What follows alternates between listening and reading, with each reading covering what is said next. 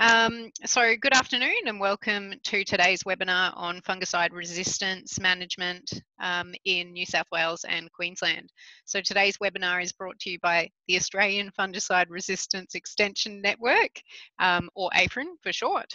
Uh, my name is Kylie Ireland and I am the Extension Coordinator for AFREN and I'll be facilitating the webinar today. Um, and before we get started, some brief housekeeping, if I can get the next slide, Steven. Yep. Uh, so basically, everyone should already be muted, and we just ask that people keep on mute. We've probably all got a bit of experience with Zoom and things like that by now. To ask a question, we just ask that you go to the Q&A window is the best way to do that, and I'll show you how that works on the next slide. Um, you'll enter the question, and then um, it'll be posted when we're ready to go.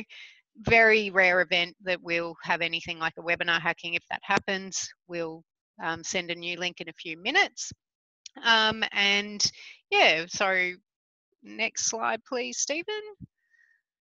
Well, yep, so basically for some background, um, AFREN is a GRDC initiative um, in recognition of the fact that fungicide resistance is becoming a more serious and increasingly prevalent in Australian grains crops. Our remit is to deliver regionally specific resources and training to help growers and advisors understand the status, risks, and management of fungicide resistance in Australian grains. And that regional aspect is really important because we're seeing different cases in different growing regions across the country, and there are different risks associated with that.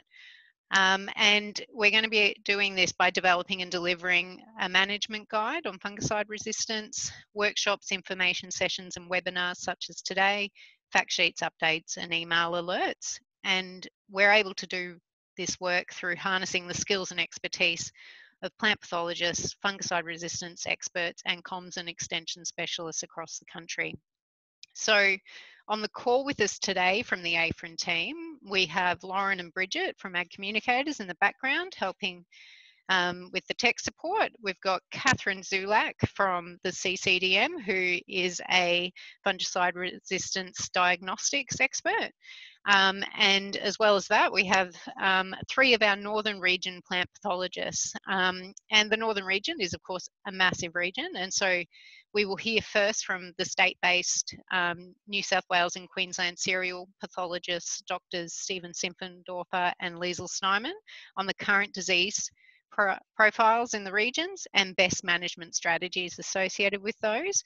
And that's important because effectively, very at a very practical level, good fungicide resistance management is predicated on good integrated disease management. Um, and so then Steven and Lisle will provide some commentary on some fungicide interventions as a part of those IDM strategies um, this season, and which will link us to our final speaker, Professor Levente Kiss uh, from the Centre for Crop Health at the University of Southern Queensland, who will speak to the management of fungicide resistance in Queensland grains crops um, and some of the fungicide resistance management basics. So without further ado, I will throw straight to Steven, um, uh, who can start setting the disease scene for 2020. Thanks, Kylie. So welcome everybody. So yeah, the main aim here is just to give a bit of an update of what's happening so far this season, and I guess um, a bit of excitement with a bit of rain around on the weekend, and fairly a lot of questions about what that's going to do to disease levels that are already existing in crops. Um, so yeah, we'll just go through a bit of what's happened. I think the main thing that caught us all a bit by surprise is the amount of um, stripe rust around. This is in southern New South Wales up into northern New South Wales. This picture here on your screen is of a crop of uh, Bennett, so DS Bennett. And you can see this is not a hot spot, this is a pretty big hot patch. And it's just been a run of circumstances. So you can see in the background, maybe you can see over in the corner some sheep there. Um, basically, you know, these went in quite early, given a good break and just come up and the sheep just can't keep on top of it with grazing. Um, and in a lot of these regions here, we've had uh, rain since about January. So we've had uh, volunteer wheat coming up since January and just been hung onto in some situations so they didn't have to hand feed anymore. And it's just created a bit of a green ramp, or it has, it's created a green ramp leading the season. So um, certainly created some issues. You can see in the background the fog. So just that run of, of foggy mornings and leaf wetness and this is the, you know, the picture that was taken by the agronomist here down at Lockhart. You can see that moisture in the canopy and the rust pustules there, just very conducive to disease development um, this year. big biomass crops, big canopies, and, and just things kicking over in there. So it's not um, restricted to down around that southern uh, New South Wales. It's certainly other th- other places. And over the last two weeks, we've had numerous reports of, of mainly DS Bennett um, with stripe rust hotspots. So here's one at Boggabri, which is one of the first ones.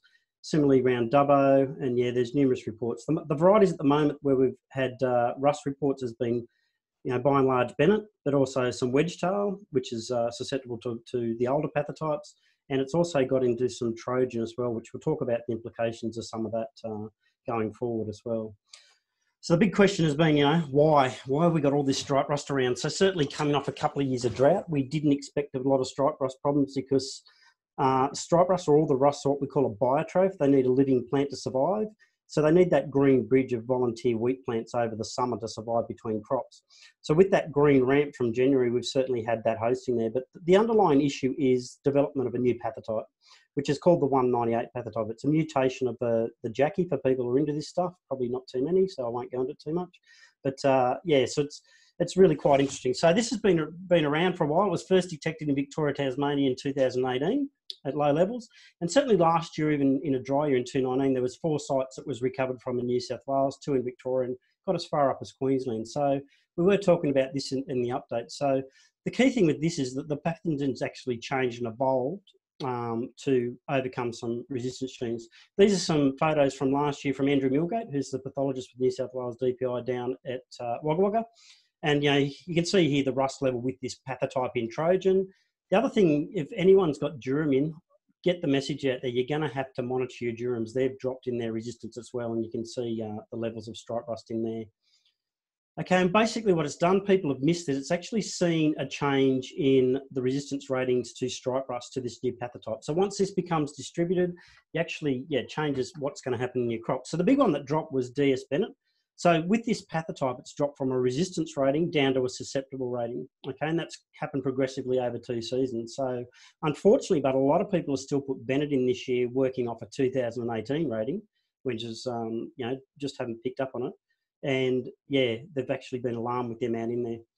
So Illabo dropped as well, but only a minor bit. Um, and the ones here that that haven't uh, haven't changed certainly is that the Lantus has still maintained MR rating and flanker RMR because I'm going to talk leaf rust in a second. As I said, that other variety, Trojan, so Trojan's dropped in its resistance as well. So the issue that we have is these main season uh, plantings for a run of circumstances that uh, certainly that green ramp into the season, a cutback on the use of flutriafol, so which takes the pressure out certainly across regions.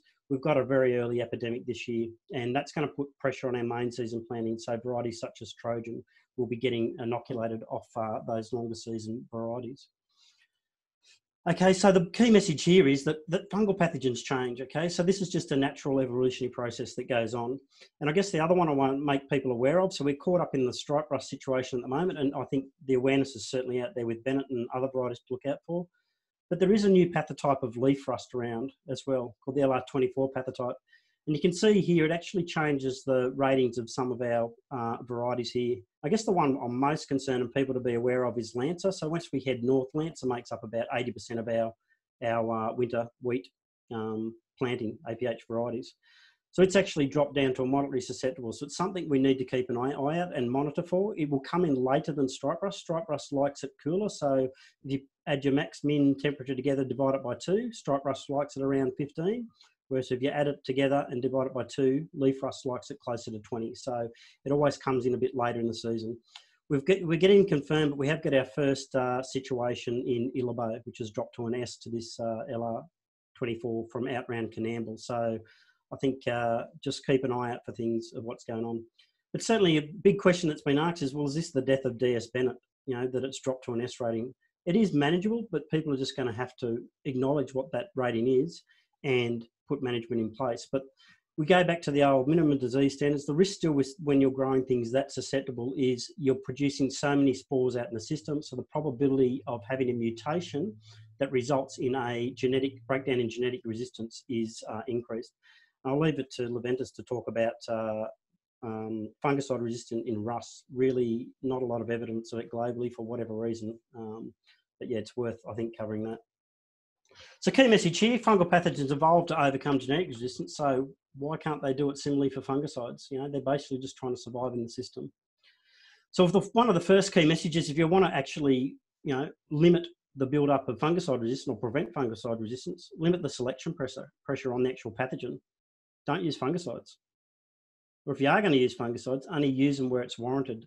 Um, and this is this is certainly an issue this year. So with a lot of people coming off drought and having big early crops, good biomass in there, um, it's it's actually quite interesting. And and I guess people panic and is the potential there to jump at shadows. So here's some stuff that come in earlier, and it's actually contact herbicide damage, uh, a bit of spray drift, or um, we had a couple of inversions, and causing this these lesions. So people are sending these in thinking that it's yellow spot or some sort of disease and want to throw a fungicide at it.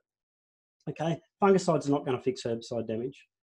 Okay, they're totally different. They only don't interact with the fungal pathogen.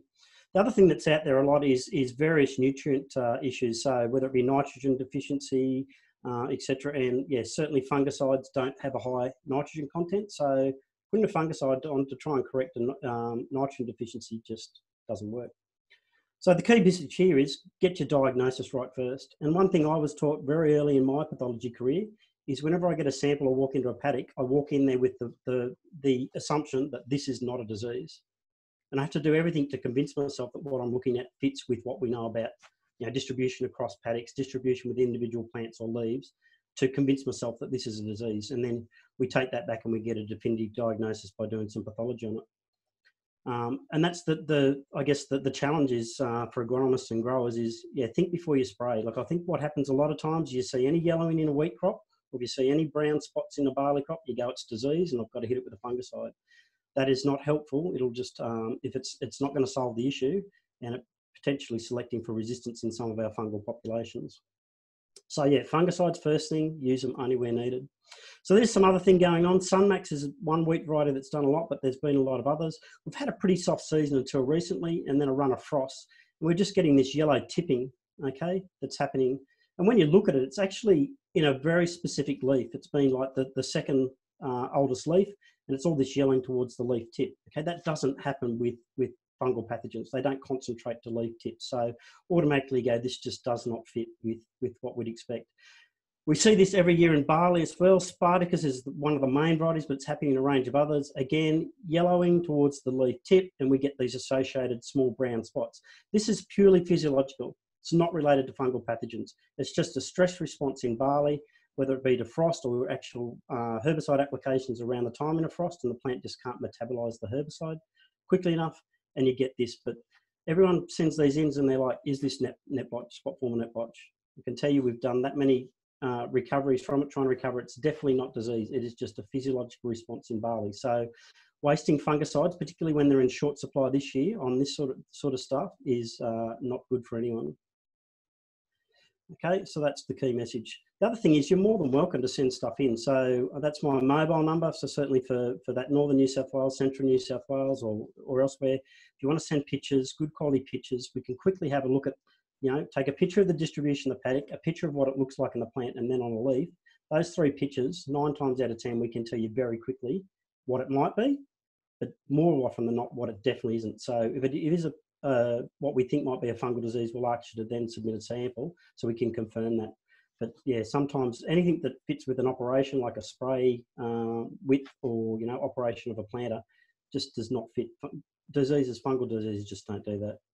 Okay, but unfortunately, this is the reality. So this is the samples that are coming in at the moment. This is in barley. Uh, you can see here you've got a range of physiological spottings. What we do is humid chambers. We cut sections of the leaf, put them in uh, a little petri dish with some moist tissue paper, put it at specific temperatures, and we can get the, the causal fungus to sporulate, and we can identify it under the microscope. So this is what normally happens, but you've got here, so these ones uh, are actually physiological spotting uh, on, on the left.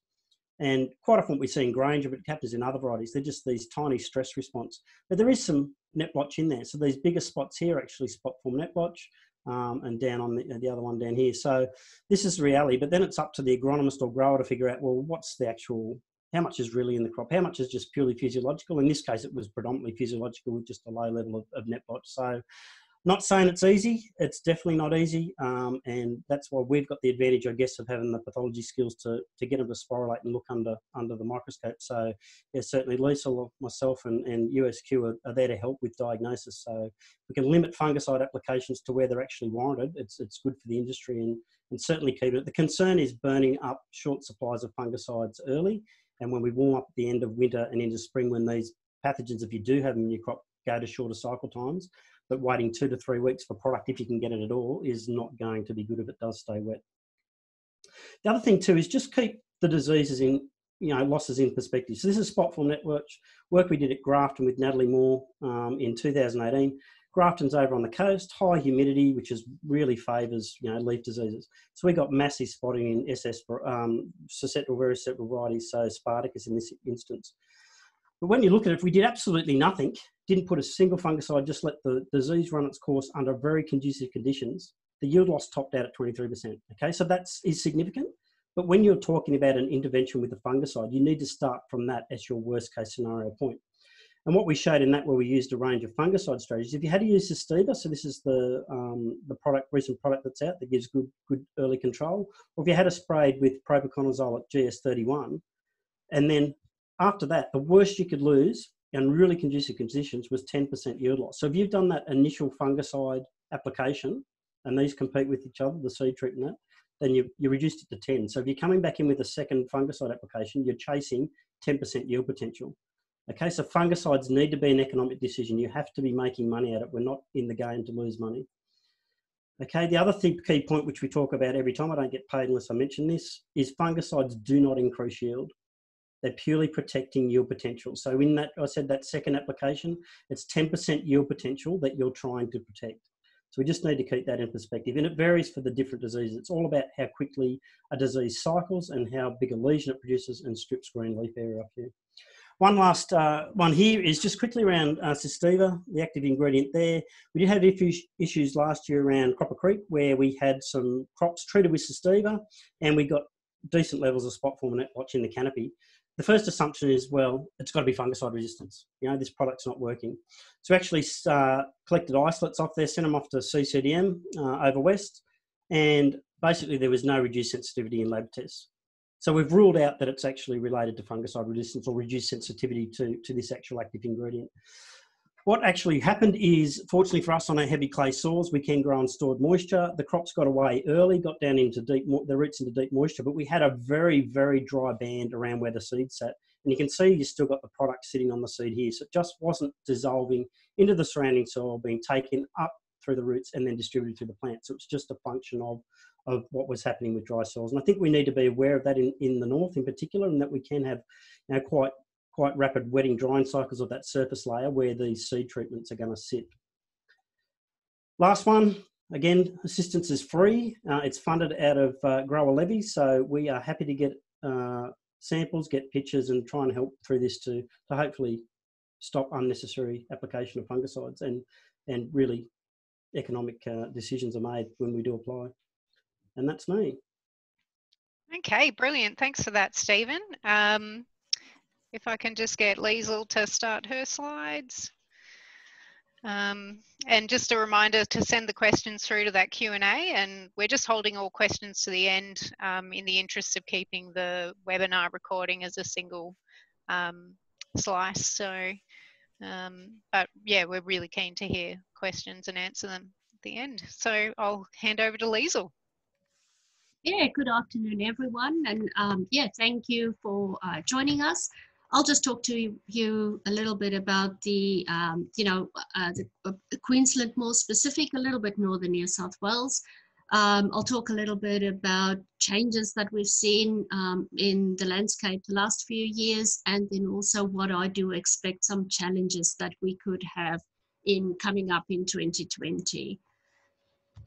Um, firstly, I'll just talk a little bit about net form of net blotch. Most of you will probably know that you know, you see net form of net blotch almost every year in crops in the northern region. Um, we do receive quite a number of samples from um, agronomists, from growers for identification. Um, and we also do some survey trips. One of the main reasons that we do that is because we do pathotyping on net form of net blotch. So that just gives us a little bit of an advantage so that we can see if there's varieties that are becoming vulnerable due to changes in the pathogen, as Steven related earlier, you know, what they do. You'll see there in brackets, I have the number of samples that we've received um, every year over the last few years. And, you know, there's been quite a drop um, over years. With, in 2018, we only had a single sample and that was collected at the Hermitage. So it wasn't even from a commercial crop. But that's just an indication of the drought conditions we had over, um, you know, at least from 2017 with this pathotyping we do, we know that in um, Queensland we still have kind of the same three main pathotypes that have been around for quite some time. Um, in a couple of years ago, we identified two pathotypes. The one was virulent on the variety maritime and the other one on Urambi.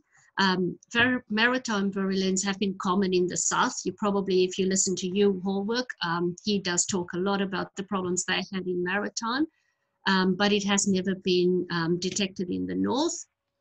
Um, we don't expect any of these uh, new pathotypes to have any impact in the north just because these varieties are not really suited to growing conditions here. Also, due to the drought conditions, we haven't identified any new pathotypes in 2018 and 2019. We do know that with the years of the work that we've done on net form, um, the widespread cultivation of certain varieties put selection pressure on the pathogen to mutate and then increase in virulence for these varieties. So we always say to farmers, you know, really don't grow barley on barley. And even if you have to, if you really, if that's your best paddock, you have to grow barley um, in it every year. Just try and rotate your varieties. Don't grow the same variety in that same paddock in successive years. So over the last few years, we've definitely seen an increase of net form of net blotch in Commander, Shepherd and Compass, and that was then because of the widespread cultivation of these varieties.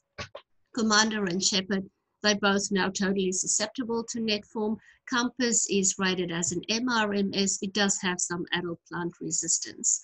Um, with net form, we know that it is both seed and stubble borne, and that just emphasize the importance of your management practices that you use. Spot form of net um, different to what we would have expected. Um, there was quite a lot of spot form of net in Queensland in 2019. We received 23 samples from growers and agronomists for identification, and it was really spread across a wide area. In Queensland, we received um, samples from up north, Bundaberg, Emerald, um, and even samples from Croppa Creek um, in northern New South Wales. Um, there's also, we received quite a huge number of samples from irrigated crops um, grown around Dalby and Chinchilla. So um, on in August, we did a media release just, you know, because a lot of growers were just unaware that there was the problem with spot form. I've just put a little bit of a table in here. That information will be available on the NVT website and also in the 2020 um, Queensland Growers or Cereal Guide. You will see for net form of net blotch, if you look at it, um, you know, like a slash, so there's different reactions, and that's just because we have these three dominant pathotypes. Spot form of net blotch, we basically just have really one um, pathotype, but unfortunately, if you look at the coloring in there, you will see that we are really sitting dangerously with the resistance ratings of a lot of the barley varieties to spot form. There's a lot of them and, you know, quite popular varieties that are rated um, between susceptible to SVS. Uh, spot form of net blotch, similar to net form, is also stubble borne. Um, the one big difference between these two pathogens, even though they are very closely related, is that spot form is not seed borne. So if you have infected seed, we know both of them gets carried in the seed, but the spot form does not translocate into the seedling. So if you have seed that's infected with net form, um, if you grow it out, you will have lesions on very, um, you know, very, the third and the fourth leaf. Um, so that's something to keep in mind. I'll maybe just talk a little bit of powdery mildew with a change in the season this year. Um, we already had some reports of powdery mildew from around the Moree area, um, specifically on Rosalind and Spartacus. Um, in 2014, we identified a neopathotype in Queensland, which is virulent on the MLLA gene. Um, so far, that has not been identified in any other region. Um, but yeah, we always ask people if you see powdery mildew, you know, send us samples because we would like to see if that is more widespread than what we think. Um, and that um, one that is on Rosalind and Spartacus, that is that specific MLLA virulent one. We haven't detected any new virulences since 2014, and that's probably also just more a reflection of the type of conditions we had. There's a resistance gene, MLO, that is resistant to all isolates. This particular gene is very common in Europe. It has been used for a very long time. It's not that common in the Australian varieties yet, particularly the Australian bred ones, but I think we will see a lot more of it in future, particularly with varieties that's got a more European background. So if you look at the resistant varieties, you will see like the newer ones like RGT Planet, Granger, and Westminster does carry this MLO resistance gene. There's also some other varieties that are resistant to powdery mildew or the, the strains we have in Australia, and they do carry some other resistance genes. Unfortunately, with the changes um, that we've seen in the pathogen, um, varieties like Commander, Compass, and Shepherd, they've all lost their resistance um, and also then Latrobe, um, and, and all of that, the varieties that are similar to Latrobe and related, um, like um, Hindmarsh, Rosalind, Spartacus, they all carry that MLLA resistance gene. So all of them are quite susceptible now to powdery mildew.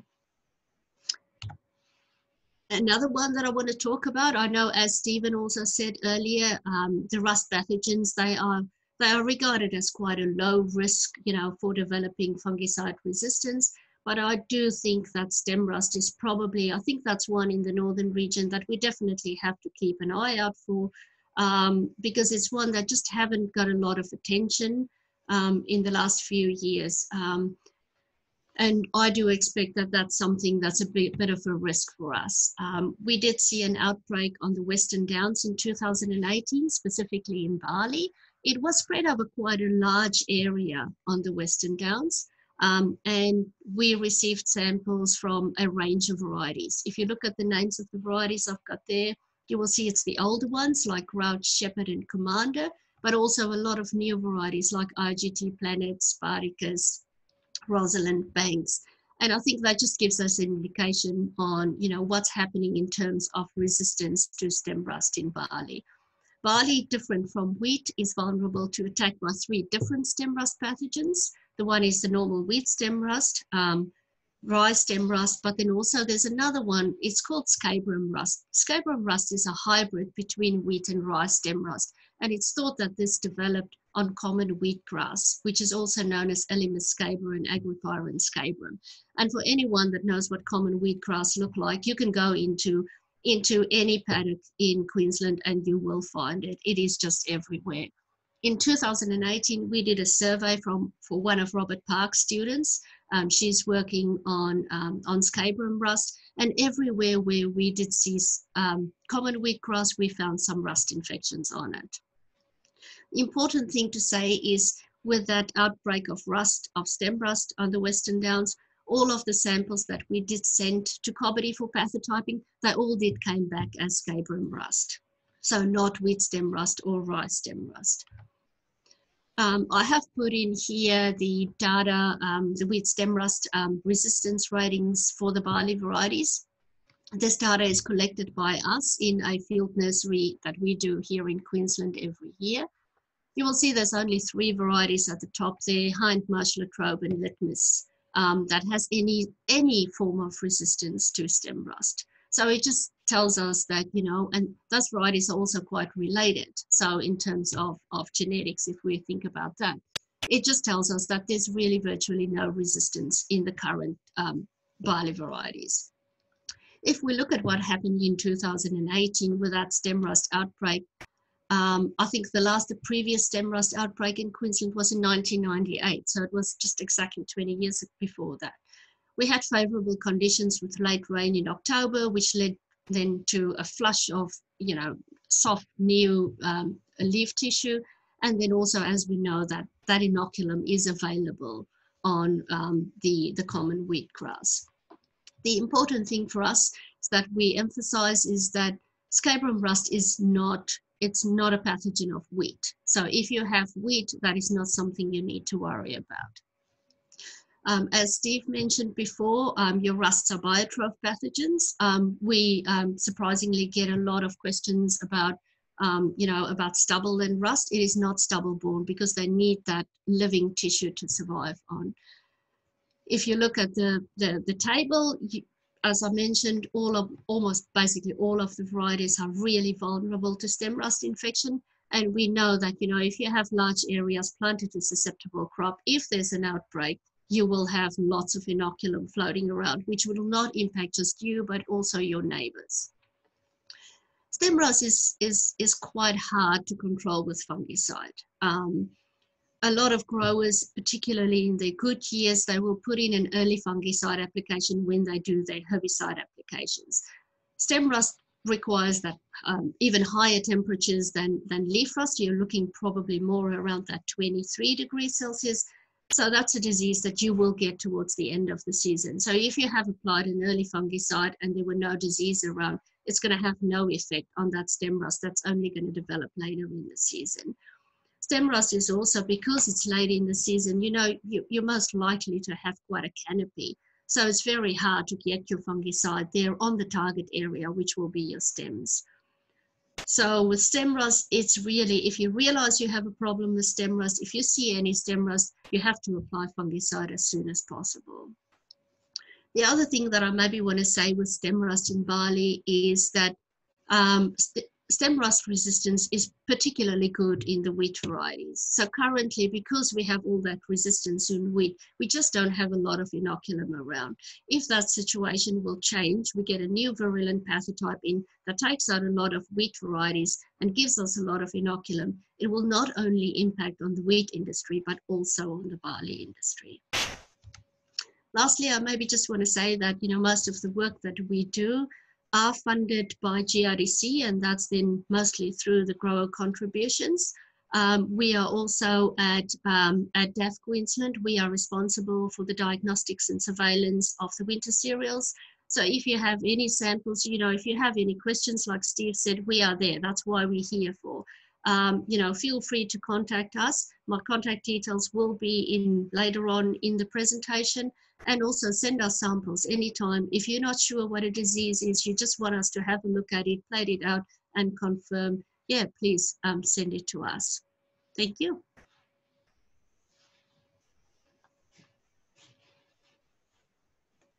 Alrighty, thanks a lot for that, Lisle. That was amazing. Um, I'm going to start sharing screen now and uh, hand over to Levente to take us through. Just a quick reminder there to keep the questions coming and for Levente to take us through management of fungicide resistance in Queensland grains crops.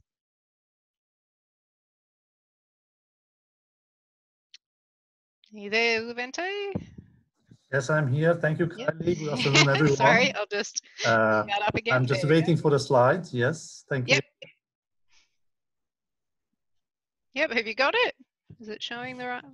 Well, no, not yet. No? Okay, I'm this is you'd think I'd ha- I'd be used to this by now. Um, best laid plans, and there we yeah. go. We can start with this uh, with this map. With that slide, yep. Yes. There yep. we go. Yes. Apologies. So, th thanks, thanks again, Kylie. So my my role in this webinar is to talk a little bit about general aspects of fungicide resistance, and then about the situation in Queensland in particular. So let me start with this map produced by the Center for Crop Disease Management at Curtin University. This is a great overview of what has already been revealed in this field Australia-wide. Uh, we have a number of well-documented cases when some of the strains of some of the crop pathogens, such as those uh, causing barley and wheat powdery mildew, uh, barley net form, net blotch, uh, also wheat septoria, canola blackleg, and so on and so on, uh, showed reduced sensitivity or complete full resistance to a number of fungicides.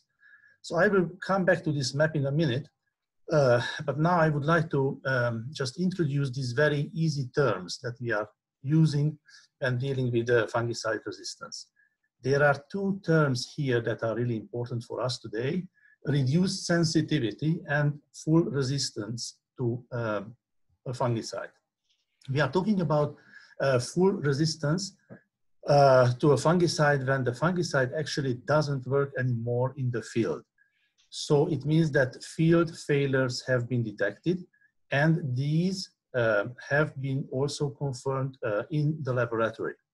Same for reduced sensitivity. In this case, the fungicide may still work, for example, at higher doses. Uh, however, the risk of uh, developing full resistance is there. And again, this has to be confirmed uh, in the laboratory. Why do we need this uh, laboratory confirmation and how does this work? Uh, field failures could be due to a number of reasons, as we all know. Simply the wrong timing of the fungicide application, problems with the spraying, anything else can go wrong.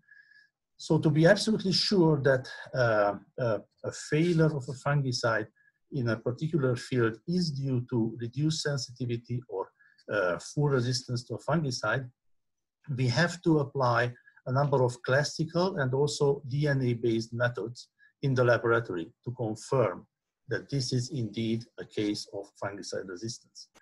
Uh, if uh, the fungal pathogen is, um, grows well in uh, plates on artificial media, uh, then we do tests uh, in plates in the laboratory. If uh, these are biotrophs, and Steve and Lisle have already mentioned these pathogens like powdery mildews and rusts, then we will carry out classic fungicide resistance tests in the laboratory. And we will also do uh, DNA uh, level uh, analysis to detect one or sometimes more than one mutations in the crop pathogen in those genes of the crop pathogen that are associated uh, with the uh, fungus with the with the fungicide that has already been applied um, to control the disease. So when we have the results of these classic and also the DNA-based methods that both confirm that we have indeed fungicide resistance there, then we will have a color dot on that map. So we can go back to this, this, uh, this map. And um, so we, we see here a number of, number of dots. And uh, before talking about uh, some of these, uh, one thing is uh, clear. Uh, looks like there are absolutely no confirmed fungicide resistance cases in Queensland.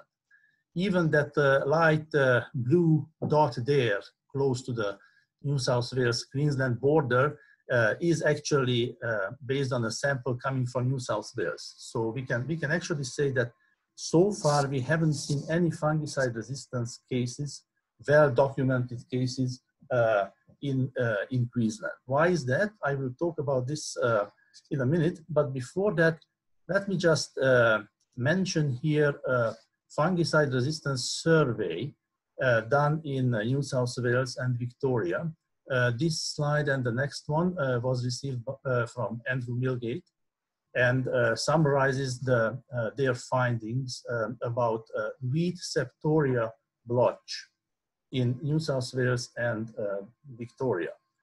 As you can see there, those dots, um, what was found uh, uh, in these regions in um, 2017 is that uh, there's a wide distribution of DMI resistance uh, in this particular crop pathogen in those regions that are covered by uh, those dots uh, on the map. in the meantime, no changes uh, were, uh, uh, were detected in the sensitivity to other fungicides belonging to the strobilurins or the SDHIs, to two other groups of fungicides with different modes of action. So if we go to another slide, we will see that these uh, fungicides that belong to these other two groups, strobilurins and SDHIs, those still work perfectly against wheat septoria blotch. However, in terms of DMIs, um, a number of products uh, have been uh, detected to be less effective, and one of those uh, is not effective at all. So it means that that one contributed to field failures of uh, fungicide uh, applications in New South Wales and uh, Victoria.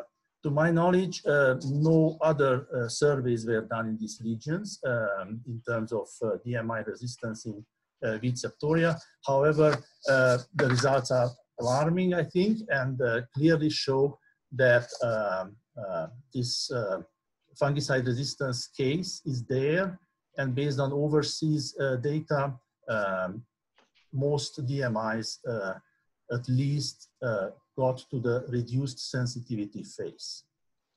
Uh, now, these results and also the map uh, may give the impression that we are in trouble when using any kind of fungicides in any kind of uh, uh, grains crops. Uh, however, this is clearly not the case. So I would like to show you just two uh, tables on the next two slides to show that most fungicides that we have at the moment to control all the diseases in barley are still working very well in most places as you can see in some uh, states, uh, um, one or two fungicides have already uh, uh, lost their efficacy. That's the red little X there, or uh, reduced sensitivities were detected uh, in one state or another, while the same fungicides belonging to the same group, mode of action group, are still working very well in other states. Next slide will show uh, the current field performance of uh, all the fungicides that can be used uh, against wheat diseases. And again, uh, most uh, fungicides uh, work very well in most states across Australia. Um, I, I, want to, I want to mention here that not all the products have been registered in all states. So obviously the label will tell uh, which fungicides are uh, useful in what, uh, in which state across the state. But clearly the message, the take home message there is that most fungicides work nicely against most wheat and barley diseases um, across the country. So uh, the next slide uh, will take us back to uh, Queensland, I guess as, um, as I mentioned there, there are no well-documented cases uh, in Queensland in ter terms of fungicide resistance. And the question is, why is this? Uh, my feeling is that this is because no um, comprehensive uh, um, surveys, no projects uh, have been uh, um, done in, uh, in Queensland so far. So we started a, a pilot study, a small project supported by the Broadacre Cropping Initiative, which is a collaboration between the Department of Agriculture and Fisheries of the Queensland Government and University of Southern Queensland. Uh, I will talk um, here about our preliminary results. However, I would like to stress that uh, this project has started uh, a few months ago, so um, there's not much to report uh, so far. We focused on one single disease so far on uh, mung bean powdery mildew. And why is that? Uh, this is because uh, mung bean is a cash crop in uh, southern uh, Queensland, also across Queensland, and also in northern uh, New South Wales. And this disease is almost every year is there in the in the field, and the according to a to a GRDC paper, there could be up to 30 percent yield losses uh, without applying uh, fungicides. Now, there are only two fungicides uh, registered against bean powder mildew. both contain a DMI fungicide, tebuconazole, and um, Custodia also contains strobilurin in combination with tebuconazole.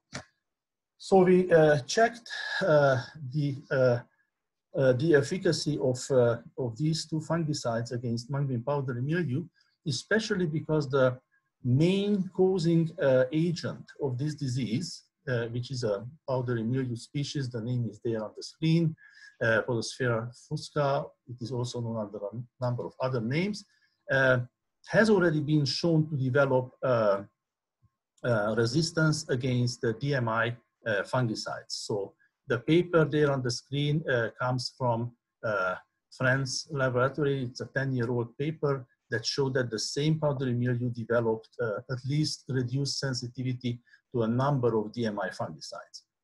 Uh, actually, here in Australia, we have another powdery mildew species that infects mung beans. So we have two causal agents there, and this may complicate fungicide resistance at this stage. However, we don't know much about this. The project that I'm talking about uh, was carried in uh, collaboration with uh, Lisa Kelly from uh, Department of Agriculture and Fisheries and Niloofar Vaghefi uh, from our university, University of Southern Queensland. So uh, what we have done so far uh, since we started the, this project a few months ago, if we move to the next slide, we actually checked uh, those DNA markers that are very well known to be associated with uh, DMI resistance, so tebuconazole resistance. We checked in a number of uh, samples, and the good news is that uh, we haven't detected any mutations in the target gene. Uh, however, field failures have been observed. So uh, we would like to uh, get uh, samples uh, from you if you are interested uh, in finding out whether there is any resistance in mung bean powder pathogens across Queensland and New South Wales. in terms of management, if we go to the next slide, the current recommendation is to apply tebuconazole uh, DMI fungicide twice, first at first sign of the disease, and then uh, two months later, uh, two weeks later, sorry, so two weeks later. Uh, this slide and the next five slides were received from uh, my colleague, Associate Professor Adam Sparks, um, and um, will show you uh, their results in bean powder management. So um, the re recommendation to use tebuconazole at first sign of the disease and uh, then the second spray two weeks later was actually uh, supported by Adam, uh, Adams and Paul Melloys and also their colleagues uh, meta-analysis. They uh, analyzed uh, the yield data and also all the other data of 26 different trials from northern New South Wales and Queensland from 2011 till 2019. And uh, this analysis uh, supported the recommendation that I have already mentioned. Now, if you need uh, more support, uh, then uh, it's a good idea to use a decision support system. And uh, this is what Adam and his team actually developed. this is a tool that actually provides an alternative to calendar spray programs. And uh, it has a number of economic benefits, those benefits that Steve actually mentioned in, uh, in his presentation. And if there was uh, any fungicide resistance uh, uh, issue, then it would also be a good tool uh, to, to manage fungicide resistance in powdery mildew. So what is this decision support system? this is an app phone app that was launched uh, in November 2019. It can be downloaded freely. Uh, it is the uh, result of a large collaboration between uh, uh, University of Southern Queensland, uh, Western Australia Department of Primary Industries and Regional Development, and the Department of Agriculture and Fisheries of the Queensland government. So this tool is there, and um, I have two more slides to show you uh, what does this app uh, do for you, for the growers, agronomists, or uh, advisors. If we can go to the next slide, please. so the first, when, when users actually try to use this app for the first time, this is what they see. Uh, they have on the far left uh, parameters that can be adjusted for crop circumstances and current conditions. And then uh, they will get uh, information uh, and to help their decisions. what would happen without any fungicide spray, with one spray, or with two sprays in that particular crop, according to the already set parameters. So um, the users are asked to provide uh, crop circumstances, um, which already include uh, the already incurred costs of that uh, uh, mung bean field, also the estimated farm gate price, uh, the yield volatility, and the overall price. And uh, the, the outcomes could be easily tailored to see uh, if it is economic to spray once or twice in terms of the calculated uh, final yield. So this is how this, this app works. Um, I think it's a wonderful uh, tool to support uh, the decisions about fungicide use in, uh, in mung uh, fields. Uh, and as I said, this project was supported by, by those two projects that are listed on the, on the screen. Um, and it is a collaboration of, the, of those three organizations um, also shown on the screen, uh, including the, the alliance between uh, the Department of Agriculture and Fisheries of the Queensland government and the University of Southern Queensland, the Broadacre Crop Initiative. So um, um, to conclude and uh, to come up with a number of uh, take-home messages on the next slide. Uh, as we know, uh, to make a decision about fungicide use, there, is, uh, there are risks from the fungicide side most of them are single site mode of action, so there's a risk of developing uh, resistance. And also there are a number of risks from the pathogen side, and uh, both Steve and Lisle covered uh, this uh, very well um, with a few examples. Clearly, a frequent application of fungicide leads, uh, uh, increases the risk of fungicide resistance. So what should we do? Uh, of course, the first recommendation is to rotate and mix chemistries if they are available. Uh, basically, in our example in mung bean powdery mildew, basically we only have tebuconazole, or uh, so a DMI uh, fungicide, although uh, uh, another product also has strobilurins. So if possible, rotate and mix chemistries. Of course, reduce disease pressure by other means, not by fungicides, by rotate crops, by stubble management and manage the green bridge. And also, uh, last but not least, uh, this is the take home, the final take home message is to minimize fungicide use and uh, try to spray strategically. And this strategy could be supported by uh, the phone app that I presented earlier. So to conclude, it looks like little is known about fungicide resistance in, in Queensland. However, uh, at least a pilot project has started in this field, which uh, has uh, focused so far on a single disease. And uh, we will also um, check other uh, grains pathogens um, for fungicide resistance. And we will also continue to monitor this in, in a number of key grain pathogen uh, pathogen populations in Queensland. Thank you. Okay, brilliant. Thanks so much for that, Levente. Um, on behalf of the, the whole AFREN team, um, thanks for attending the webinar.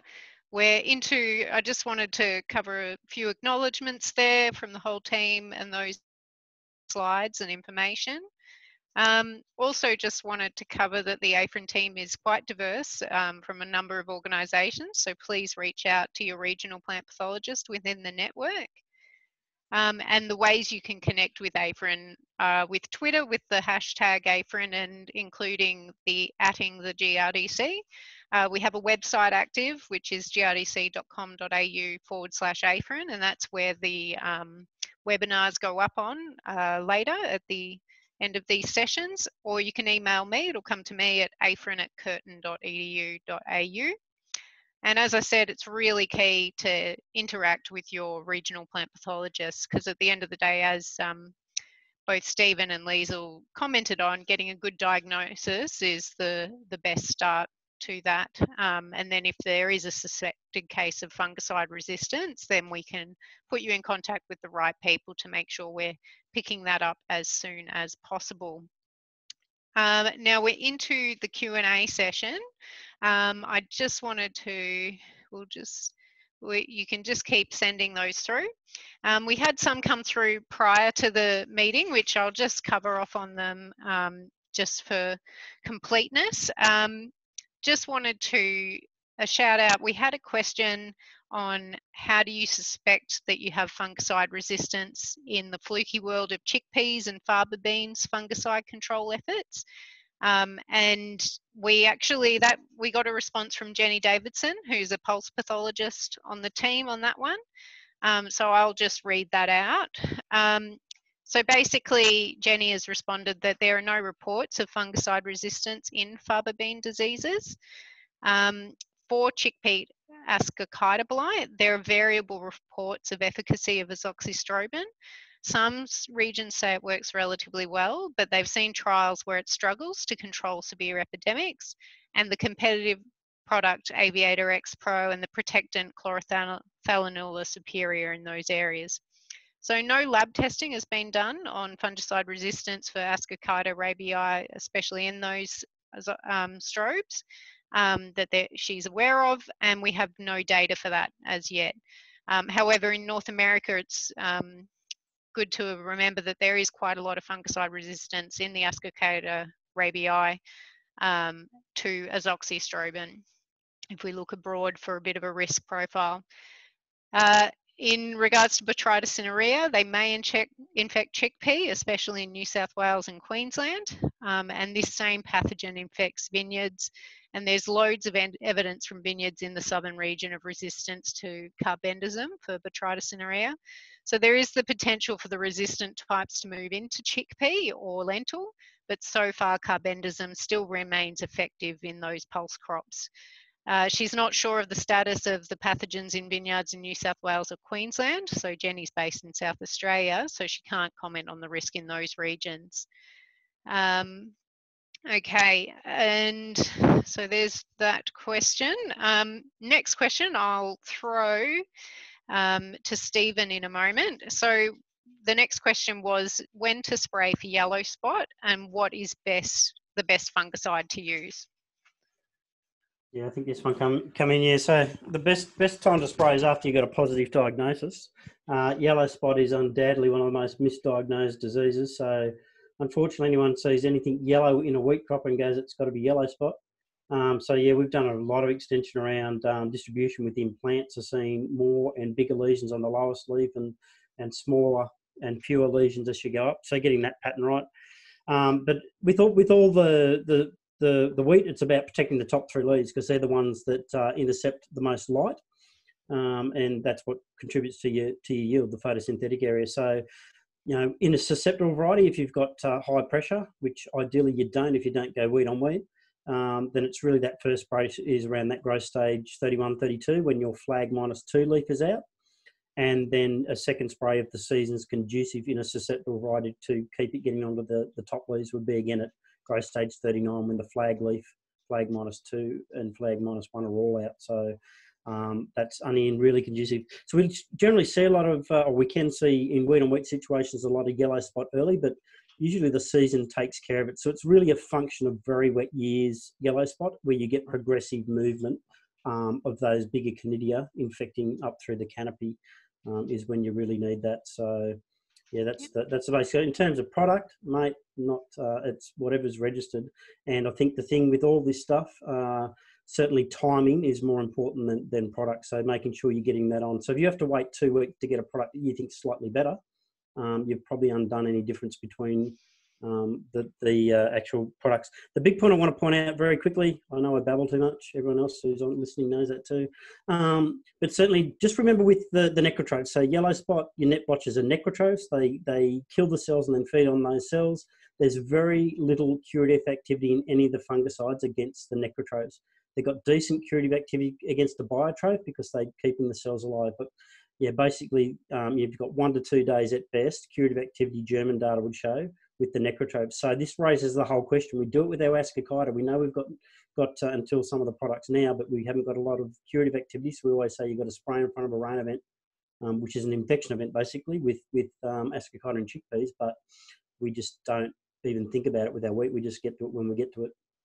So yeah, certainly for the for, for yellow spot going in front of a rainfall event, which is your main infection event, to get splash of those spores through um, would be more advisable than waiting afterwards because you just don't have that curative activity.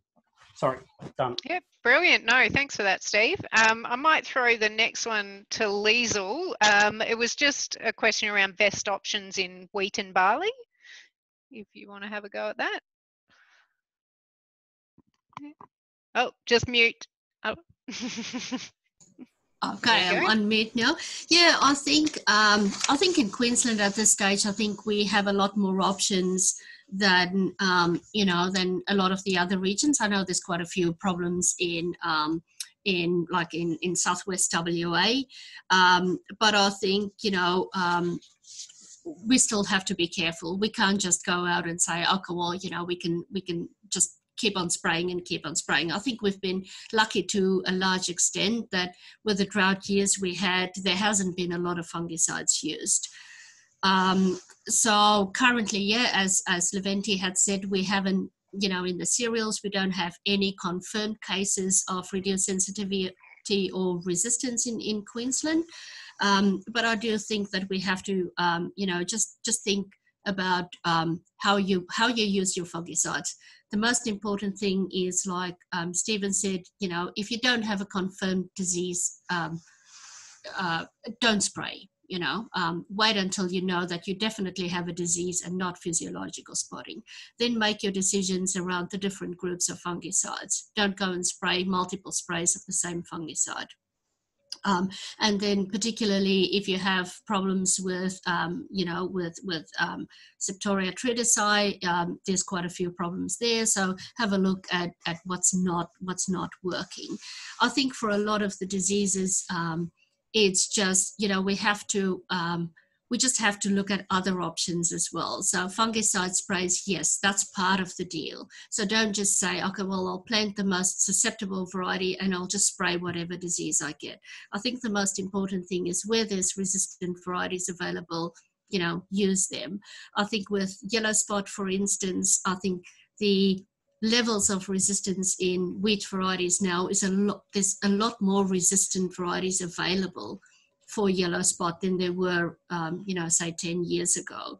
Um, so that would be your first port of call. And then just look at, you know, um, just use um, your, your paddocks. Um, don't go, a lot of those necrotrophs, most of them are all basically are stubble born. Don't go back into stubble. I think Steve could maybe comment on the fact that we had so many dry years that a lot of farmers would maybe go back this year into um, you know paddocks that they had maybe barley or wheat like in 2016 17 because of the drought we had all of those stubble didn't break down. So you still run the risk of getting um, stubble infections from those crops from a few years ago. Um, and and yeah so so that's that's that's all of those um, is just and and talk to your agronomist. I don't think um, we don't we don't work with fungicides on a daily basis and i think um, you know talk to your agronomist on what's the best fungicide to use and then also if you have any problems i'd say that would be your first port of call is talk to your agronomist and say hey I've sprayed this fungicide. This was the conditions. It didn't work. And then, you know, maybe, maybe there's other people that are aware of the same problems. So I think that's the whole thing is we just have to be on top of it. Um, and, and yeah, the most important thing is is um, yeah use those different groups of fungicides that are available. And and don't spray if it's not necessary. If there's not a if there's not disease don't spray it yeah and Steven some extra commentary on that? Oh yeah that's just about the longevity of inoculums we know after a run of dry years. The stubble's not decomposing so some of these pathogens are surviving longer than than they normally would. But it's also the the pathogen the stubble-borne pathogens have a life cycle which requires moisture themselves. So we've certainly seen last year a bigger risk wasn't barley on 218 barley stubble, it was actually barley on 217, 216 stubble. Because the net blotch fungus had met its uh, moisture requirement there.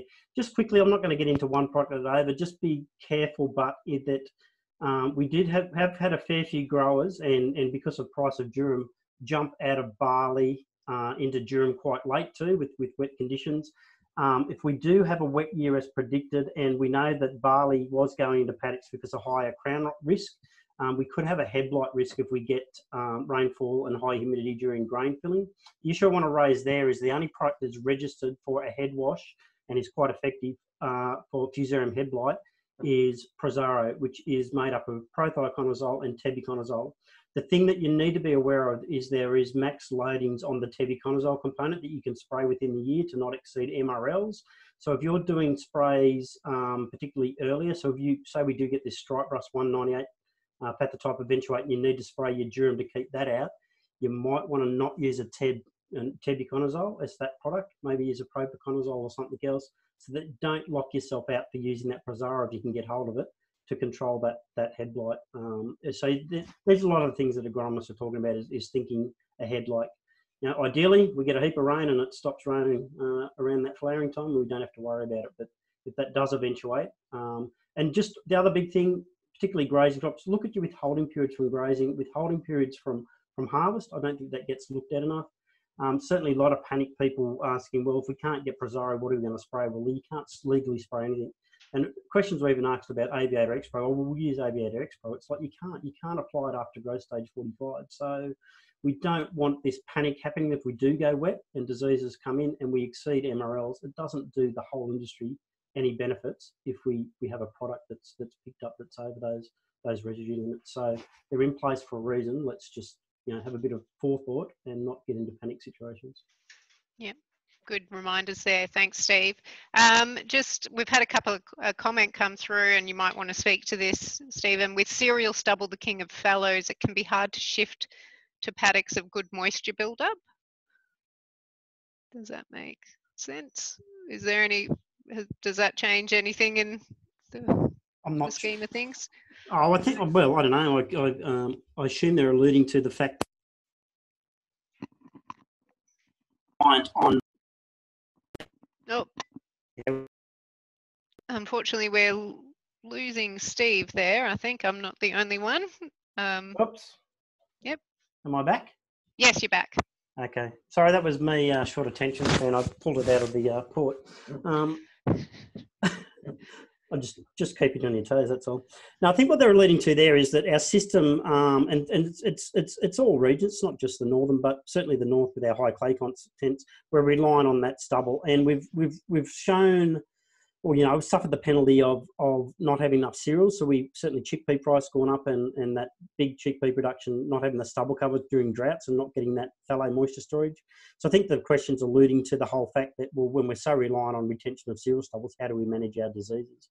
And that's where it really comes to an integrated approach. So it's looking at um, you know what's the build up on that stubble, what's the resistance of the varieties, you know, is there things we can do like with uh, crown rot, I guess is the other one that's stubble borne, you know, with interrow sowing and other, other factors. So it becomes a whole integrated approach that you have to take in that situation. So we can't afford not to have the cereal stubble there. We just can, we won't grow crops. We won't get the fallow moisture storage. So we have to then look at, at uh, all the tools in, in the bag to actually manage the diseases that pop up then. So is, is the way to go there. And yeah, and that's the thing at, the moment. It's it's it's relatively economical because we've got some triazoles that are cheaper. So it's all about prolonging the activity of those and not you know overusing those when they're not needed, and, and then suddenly you know something everyone says is a, a two to three dollar per hectare spray becomes a twenty dollar spray. That really reduces the profitability. So we've got them. We've got to use them and maintain them for as long as we can. So yeah, integrated. Brilliant, no worries. Um, we've just got a question, uh, sorry, for uh, Steven or Lisle. Um, does any of our millets present the same risk, like disease problem as cereal diseases? Um, so, so millets in terms of your leaf diseases, no. Um, but yeah, we certainly have had the millets can host uh, the Fusarium species, Fusarium pseudograminearum, and can also host graminearum, which is one of the big head blights. So yeah, the millets can be a risk in terms of either you know carryover of crown rot or carryover of Fusarium head blight, but yeah, not for not so much for your leaf diseases. Okay, yeah, and I'll just make a comment. And I yeah. can't remember which way it goes. The, the white French and the Jap were actually differential hosting. There was some work that was done with um, our Northern Grower Alliance was involved, but Paul Kastrup with on the board of, did that work as well with uh, Lester Burgess. Yep. Could, yeah. dig it out. dig it out. yeah, no worries. I was going to say Lester, it'd be a few years ago. Um, but uh, just uh, we just had a comment as well, just for those um, who were interested in the um, pulses question. Just a comment from um, the a pulse pathologist, Kevin Moore in Tamworth, um, that I just want to go through. So just saying that there's no evidence for fungicide failures for chickpea ascochyta that can't be explained by timing. So we've touched on that. You've got to get your timing right. But he's concerned that farmers and agros are opting for Aviator X Pro and Veritas when um, chlorothalonil and mancozeb are fine as preventatives. So it really comes down to your timing. So um, yep, definitely if you're in those New South Wales regions, reach out to, to Kevin as well at Tamworth to um, follow up on any of those concerns around fungicide activity in the pulses. Um, so I just wanted to go to a question asked during the session um, on, and I'll throw to you, Kat, for this one.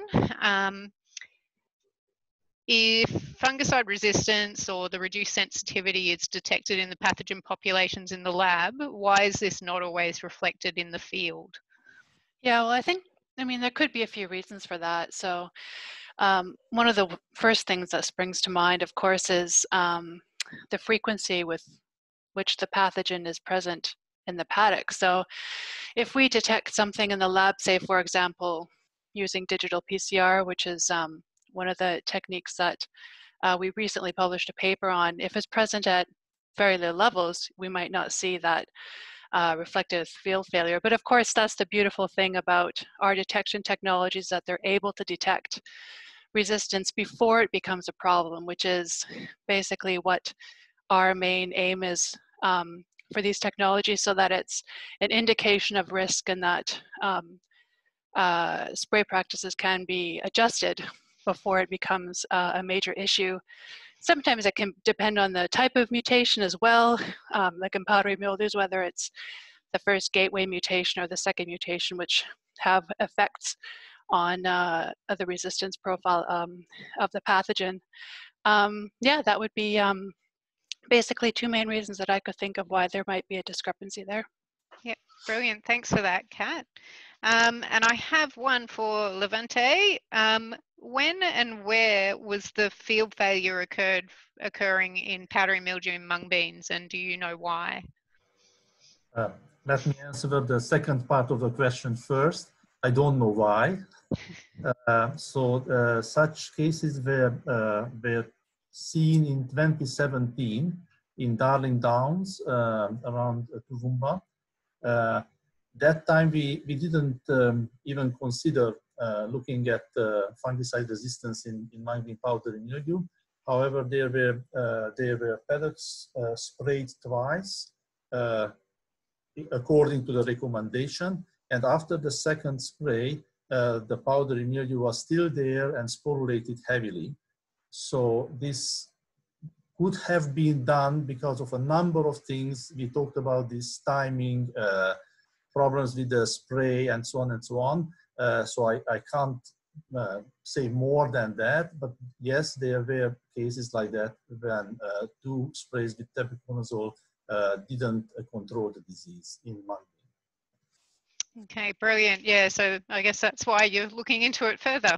Um, so yeah, lots of research is underway. Um, we've had some great questions there. We're at an hour and a quarter already, so I'll probably pull it to a close unless there are any absolute burning questions. And please feel free to get in touch um, if you've got anything you want us to follow up on outside of this webinar. But I'd thank um, Steven, Lisle, Levente and Katherine for being on the call and providing their expertise and input today. And big thanks to the Ag Communicators crowd for keeping it running. Um, and most of those technical difficulties with slides going back and forth was on me. So, um, and just that final reminder, because we did have a question prior to the webinar as well, that basically good disease management will usually help you manage well for fungicide resistance as well. So in these regions where we haven't seen any horror case studies like we have seen in other parts of the country, just remember to put all of your tools in your toolbox. As Steven said, that you know you just have to look at the full suite of those. And um, I, I certainly delve into a lot of the GRDC publications around what that can look like, um, which you can get on the GRDC website as well. So without further ado, I will uh, close the session and yep, thanks for attending. It's been absolutely fantastic. Thank you. Thank you, Kylie.